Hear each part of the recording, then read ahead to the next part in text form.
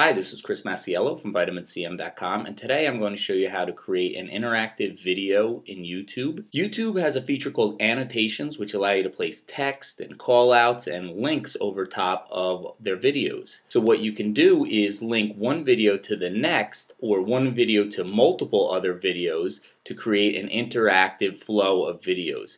This is good for things like games, storytelling, a training series, maybe a product series. So the way you start is by sketching out what you're trying to do. So just kind of lay out all of your videos and your steps on paper. So start with the starting video and then when that one's done, where are you going to go? What are your choices going to be at the end of that one? So maybe you want to go to A or B or C and then just keep laying it out on paper. This is all done, you can record your video clips. What you want to do is place a dead spot at the end of each video clip and this is where you want to let the users make their decision on where to navigate to. So maybe at the end of clip 1 you want to place an option that they can go to clip 2 or 3 or 4 and you need to have a little bit of space, maybe 10 seconds at the end of each clip for this. Once you record all your clips with your decision time at the end of each one, you can upload them all to YouTube. Videos are all uploaded to YouTube. You can go into each video